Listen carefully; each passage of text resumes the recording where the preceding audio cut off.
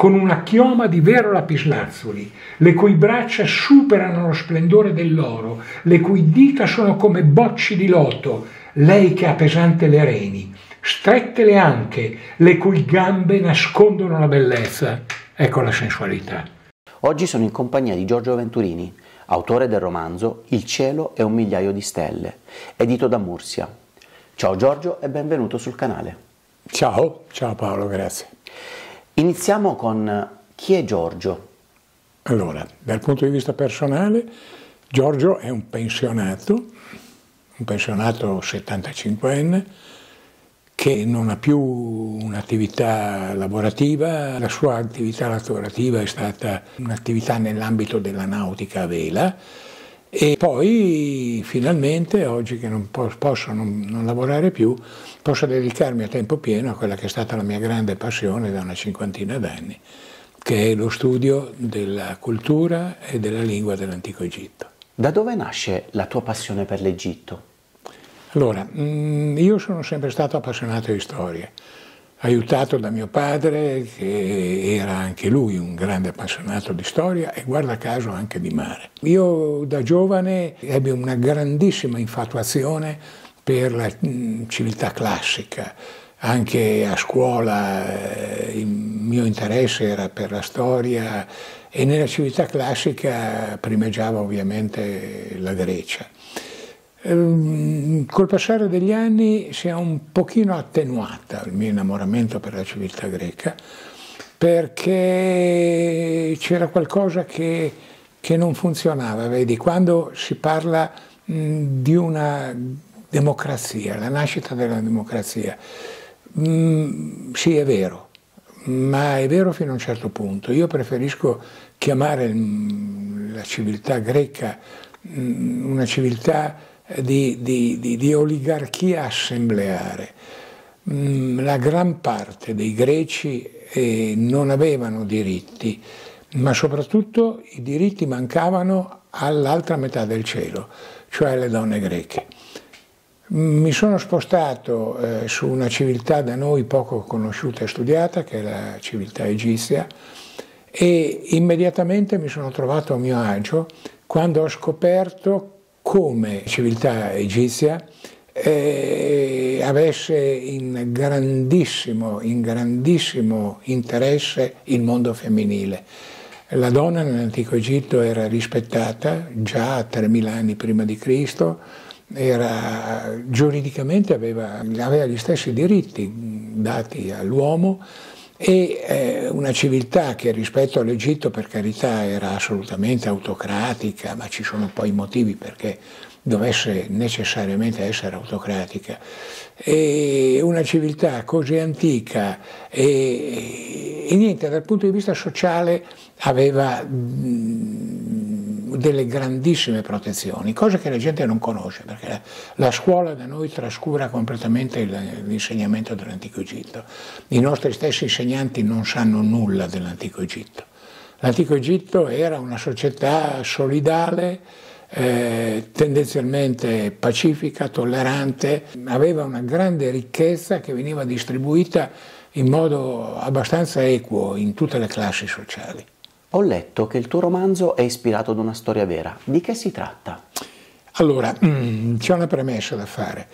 Eh, l'antico Egitto dura praticamente eh, 2500 anni, anche perché gli ultimi 500 anni della sua storia l'Egitto non è più indipendente e comunque sia incomincia a essere intaccato e cambiato da altre civiltà che si impossessano politicamente del paese. Ma eh, in questi, in questi 2500 anni in cui l'Egitto fu una delle potenze dominanti nell'ambito del Medio Oriente, quello che noi oggi chiamiamo Medio Oriente, in questo periodo l'Egitto aveva eh, rapporti eh, diplomatici molto forti con il mondo mesopotamico. Eh, spesso questi rapporti erano anche conflittuali, però ci sono anche lunghissime pause nelle quali il rapporto fra i regni mesopotamici e l'Egitto eh, erano di alleanza ed amicizia. Una delle caratteristiche di questi rapporti diplomatici è che i principi stranieri, come li chiamavano gli antichi egiziani, eh, i re, i principi stranieri facevano a gara per mandare eh, delle giovani principesse a, a, diventare concubine o comunque regine secondarie eh, nell'arem del faraone. Questa cosa non ebbe mai, mai, mai il reciproco. La donna in Egitto era troppo importante perché si potesse pensare di prendere una principessa e mandarla magari contro la sua volontà semplicemente in dono a un altro sovrano. Questa cosa tra l'altro non era sempre apprezzata, abbiamo delle corrispondenze da parte di re Mitanni e di re Ittiti che si lamentano col faraone, che dicono ti ho continuamente chiesto una tua figlia, la sposerei, diventerebbe una, una regina presso di noi e, e, tu non mi hai neanche risposto. Sì, mh, mm, neppure gli rispondevano i faraoni nella corrispondenza diplomatica, accettavano le principesse e, e, e non ne mandavano di loro. A un certo punto, negli scavi della eh, città di Achetaton, nell'attuale eh, Tel Alamarna, viene trovata la corrispondenza diplomatica di un periodo di una 40-50 anni, verso la metà del XIV secolo a.C., 1350, a cavallo di questa epoca.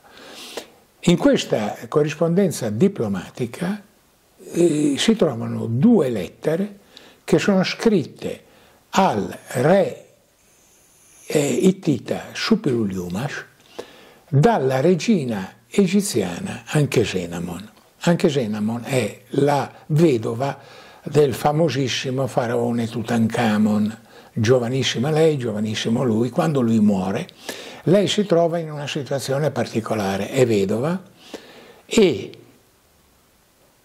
sa che dovrà sposare il successore, perché non ci sono eredi maschi della loro coppia, per cui mm, la, la, il diritto al trono per il successore deve passare attraverso il matrimonio con la regina, con la, la moglie di, di Tutankhamon, la quale ha in sé, per via matrilineare, ha in sé la legittimazione del successore. Queste lettere sono veramente sconvolgenti perché di fatto sono dei reati per quello che era l'antico mondo egizio. La regina scrive al re Tita Supiluliumash dicendo il faraone, mio marito è morto, io non ho figli maschi, so che tu hai una folta discendenza. Bene, mandami uno dei tuoi figli, io lo sposerò e lui diventerà faraone d'Egitto.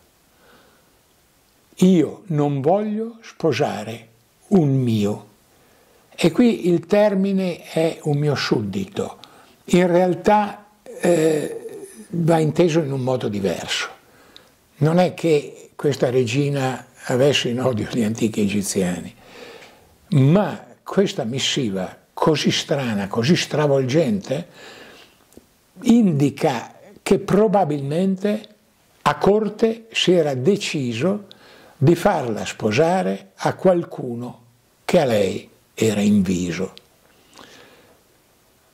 Cosa succede? Succede che c'è una seconda missiva nella quale anche Zenamon scrive nervosa, irritata ancora al re Ittita, dicendogli perché non mi hai creduto? Perché eh, pensi che io abbia voluto ingannarti? Eh, tu sei venuto, hai mandato qualcuno a corte a verificare la veridicità della mia, della mia missiva e adesso deciditi, mandami questo tuo figlio e lui diventerà eh, faraone. Allora, il, il contenuto di questa missiva è esplosivo. Come ho detto, rappresentano una rottura con tutta quella che, che, è la tradizione egiziana. Gli egiziani erano tolleranti, ma i popoli stranieri non erano egizi, potevano venire, lavoravano, eh, venivano accolti in Egitto, eh, alla fine erano immigrati che trovavano spesso delle grandi carriere, alcuni di loro diventarono anche eh, grandi funzionari a corte, ma eh, però eh, sempre, sempre stranieri. Nella corrispondenza ufficiale il re Ittita, il re Mitanno e il faraone si chiamavano fratello, si riempivano di complimenti, ma quando si chiudeva il microfono del messaggio, tra di loro il faraone e i suoi ministri parlavano del vile asiatico, cioè non, non erano considerati alla stregua degli antichi egiziani. Per cui il contenuto di queste lettere mi hanno fatto immaginare, cosa peraltro condivisa da altri studiosi e, e, ovviamente e, storici dell'antico Egizio, mi hanno fatto immaginare una vicenda che è una vicenda che a quel punto deve coprire la grande rivoluzione religiosa e politica che fu fatta dai genitori di Tutankhamon, Akhenaton e sua moglie Nefertiti, appoggiati dalla grande regina madre, che è poi nonna di Tutankhamon, che era la regina Ti. Questa triade egiziana fece una scelta formidabile perché era una ribellione religiosa contro lo strapotere del clero tebano del dio Amon. Questo strapotere che aveva reso questo clero ricco quasi alla pari la come la corona, incominciava a volere influire in modo molto invasivo sulla politica egiziana, addirittura volendo determinare la, la successione al trono, eccetera. Per cui nacque questa ribellione, il faraone abbandonò Tebe, fece costruire una capitale 150 km più a nord, nella piana di Tel Alamarna, e questa ribellione, questa rivoluzione durò semplicemente 17 anni, non, non di più, perché poi eh, con la morte di Tutankhamon eh, fu fatta la restaurazione. Ebbene, nell'ambito di questi 17-20 anni si svolge la storia del mio, del mio romanzo. Cosa ti ha spinto a pubblicare il tuo romanzo? Allora, il romanzo è nato qui dove, dove, dove mi vedi, è nato in eh, 17-18 mesi di lavoro a questo tavolo, con questo computer, esattamente questo.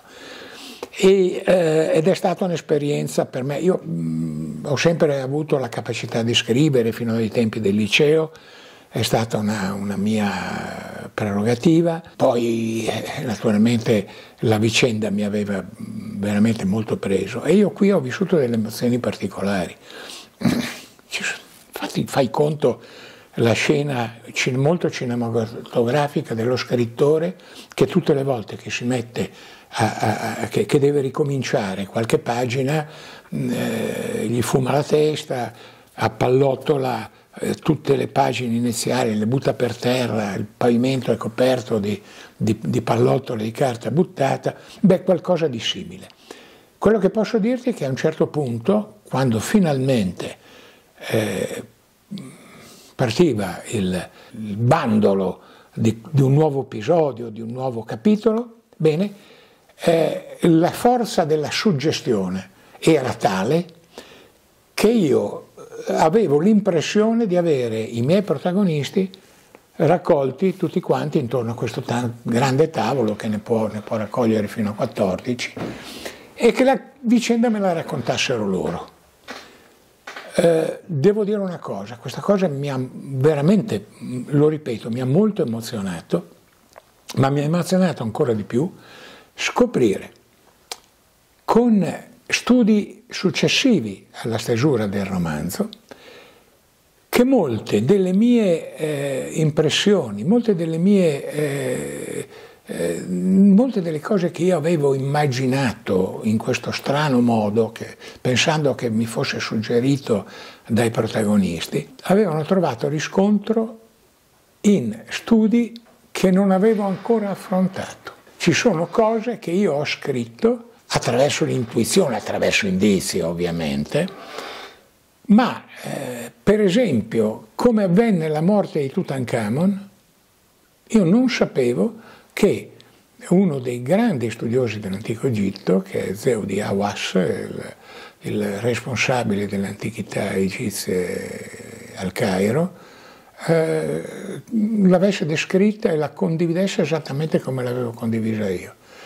Eh, così come anche la diatriba eh, per la successione al trono tra eh, l'immediato successore che è Ai e il, il, secondo successore che è il faraone Oremeb, il fatto che tra loro fosse nato un accordo per una pacifica eh, successione è qualcosa che io descrivo eh, nel romanzo, addirittura coi dialoghi, e, e, me lo sono trovato poi in una monografia eh, di Oremeb, eh, di un grande studioso, un grande egittologo. Questa cosa mi ha convinto di aver scritto qualcosa che avesse una, una forte valenza storica. Quasi tutti i personaggi del mio romanzo hanno il nome, hanno la cronologia della, della, della loro vita e hanno le loro mansioni esattamente come le avevano 3500 anni fa. C'è qualcosa nella cultura antico-egizia che merita di essere raccontata? Eh, sono state scritte intere librerie. Il problema è che noi in Italia, eh, contrariamente a quello che succede per esempio in Germania o in Francia, noi in Italia eh, non diamo molta importanza mm, a scuola allo studio dell'antico Egitto. Questo dipende dal fatto che noi siamo molto romanocentrici, eh, greco-romanocentrici, no? per cui è come se eh, il mondo antico cominciasse 700 anni prima di Cristo con Roma e poi da lì si sviluppasse tutto. È quello che, che, che, che era successo prima contasse poco. Quindi dell'antico Egitto noi conosciamo soprattutto leggende e, eh, oppure delle grandissime storture. Quello che la gente eh, non sa, per esempio, è che la figura dello schiavo nell'antico Egitto è una figura quasi inesistente. Generalmente lo schiavo era un prigioniero di guerra al quale veniva dato immediatamente la possibilità di diventare uomo libero se eh, accettava di entrare come soldato mercenario nell'esercito del faraone. E eh, poi in realtà c'erano i servi, c'era la classe dei servi, ma il servo, come tutti i cittadini egiziani, aveva diritto a un salario. Allora, vediamo di definire in due parole. L'antico Egitto ha una caratteristica favorevole, è protetto dai suoi confini, è protetto dalla possibilità di invasioni straniere. Questo fa diventare la civiltà egizia fin dall'inizio una civiltà sostanzialmente pacifica. Ci si difende giusto dai predoni, da, da qualche tribù che sconfina per fare bottino, ma il pericolo di difendere veramente i confini non c'è. Caratteristica principale, l'Egitto non ha un esercito egiziano non ha un esercito nazionale, ha un esercito che viene coscritto volta per volta nel momento in cui c'è necessità di qualche campagna militare, ma soprattutto gli egiziani non sono capaci, non sono, sono buoni contadini, non sono capaci di fare la guerra e quindi si prendono eh, soldati mercenari. Al tempo stesso la caratteristica eh, principale di un paese che vede ogni anno quattro mesi di inattività, perché dipende dalle piene del Nilo, quattro mesi di alluvione, per cui l'Egitto è allagato,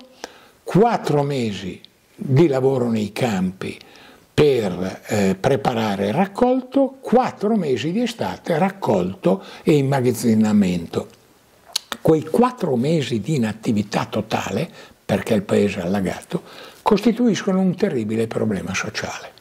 In quei quattro mesi la gente, eh, la gente primitiva non ha il concetto di accumulare beni per poter sopravvivere quattro mesi, per cui il potere diventa un potere che accentra il possesso delle terre. E quindi i contadini, che sono pagati, sono pochissimi i contadini che possiedono un fazzoletto di terra, che sono indipendenti, sono dei contadini pagati e nei quattro mesi di inondazione dell'Egitto il loro salario se lo guadagnano lavorando alle grandi opere pubbliche. Per cui tutta la forza di lavoro che esiste in Egitto viene trasferita a fare le piramidi, a fare i templi, a, fare, a scavare le tombe, a tutto quello che, ma anche a scavare canali, a fare grandi opere idriche.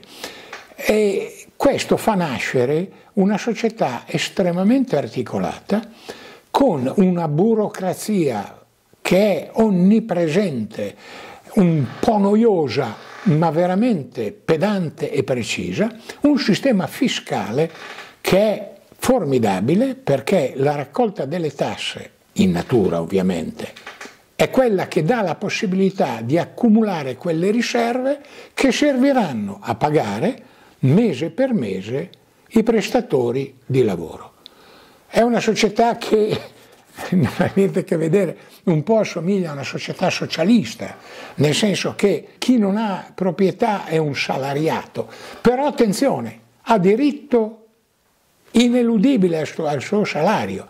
Noi non sappiamo, non ci viene raccontato che nel 1200 a.C. abbiamo il racconto degli scioperi per i ritardi nel pagamento del salario. È una cosa che che non viene conosciuta, così come non viene conosciuto il, il, il diritto di famiglia egiziano e nessuno di noi sa quale fosse il fascino di una donna egiziana. Una donna egiziana è una donna libera, è una donna che sceglieva per amore il suo compagno. E naturalmente meglio nelle classi più basse, perché nelle classi alte la famiglia magari eh, come succede da noi, non accettava volentieri un fidanzato o un marito che fosse un povero salariato, no? quindi più libere le donne povere. Però di fatto la letteratura egizia è piena di racconti del rapporto fra l'uomo e la donna che è eh, qualcosa di inimmaginabile. A un certo punto Giulio Cesare arriva in Egitto, arriva in Egitto per prenderselo l'Egitto no? e si trova di fronte a una regina che è greca di nascita ma di cultura è egizia. È una donna che ama il suo paese, ama l'indipendenza, usa tutte le arti della seduzione per ottenere da Cesare quello che lei vuole ottenere, cioè vuole ottenere che non diventi l'Egitto una provincia romana, ma un indipendente alleato di Roma. Qual è il fascino di una donna come Cleopatra? che fa crollare prima Cesare e dopo la sua morte Antonio. Non è la bellezza, Cleopatra non è particolarmente bella, è disinibita, quello sì, è una donna che per ottenere i suoi scopi usa anche il suo corpo, ma quello che travolge Cesare è che è una donna colta. Cleopatra parlava sette lingue. Giulio Cesare arriva e le donne che conosce lui sono mogli quasi analfabete che stanno con le serve. Nel mondo romano come nel mondo greco, un uomo che volesse parlare, eh, avere una conversazione un, un poco noiosa con una donna, andava al bordello dove c'erano le prostitute, le etere, che essendo libere leggevano, magari sapevano leggere e scrivere, erano donne di conversazione. No? E lui si trova di fronte a questa donna che lo travolge perché lui non conosce quell'universo femminile, se la porta a Roma, se la porta a Roma. Lui aveva una moglie a Roma, chissà cosa ha raccontato alla moglie per mettere eh, ospite in una sua residenza Cleopatra finché, finché Cleopatra stava a Roma. Ma eh, c'è questa cosa particolare. Perché la civiltà egizia dura alla fine 3000 anni? Assorbendo gli invasori. Gli invasori arrivano e immediatamente diventano egizi loro. Il fatto di essere stata capace questa cultura di fare entrare l'universo femminile con la sua ricchezza, con la sua diversità, nella formazione della cultura. Le donne egiziane avevano la possibilità di avere una loro vita indipendente, entravano nel matrimonio con il proprio patrimonio, in caso di divorzio, che poteva essere promosso anche da loro, uscivano dal matrimonio col proprio patrimonio, ereditavano la patria potestà sui figli, ereditavano i beni. Questo è un unicum nel mondo antico. Abbiamo parlato di antico egizio, ora ti chiedo cosa ti aspetti dal futuro? Beh, dal futuro dell'Egitto attuale o dal futuro mio? Del tuo futuro. Sto scherzando. Ah, ma sai, eh, quando si ha la mia età, il futuro è, è, è il giorno per giorno. Io sono un uomo anziano. Eh, mi aspetto di... Eh, non scriverò un altro libro. Non scriverò un altro libro perché nella storia della... Siccome il mio romanzo storico, ed è per il 90% ancorato a fatti storici, non ho trovato eh, qualcosa di così intrigante come la scoperta di quelle due lettere. Per cui eh, potrei solo scrivere un altro libro sull'antico Egitto, un libro storico, ma ci sono studiosi molto più bravi di me che ne hanno scritti, cioè io ho una, una, una, biblioteca di alcune centinaia di libri di gente che ha scritto prima di me cose che io andrei semplicemente o a scopiazzare o, o, per cui non c'è questo interesse, mentre invece eh, voglio eh, dare tempo eh, alla, a, voglio, voglio, dare un po' del mio tempo al, al Museo Egizio, col quale ho già un rapporto eh, di vicinanza e eh, voglio e questo è per me molto importante, riprendere l'insegnamento che ho dovuto sospendere per un anno eh, all'Uniter di Arese. La città di Arese ha una eh, università delle tre età, si chiama, che è incredibile. Arese non raggiunge 14.000 abitanti, ma la sua università delle tre età ha oltre 1.500 iscritti, decine di corsi e tra cui c'è il corso di egittologia che io ho fatto per molti anni, ho dovuto sospendere per un anno e che ripartirà da novembre con eh, i miei allievi con i quali il rapporto è veramente molto, molto interessante.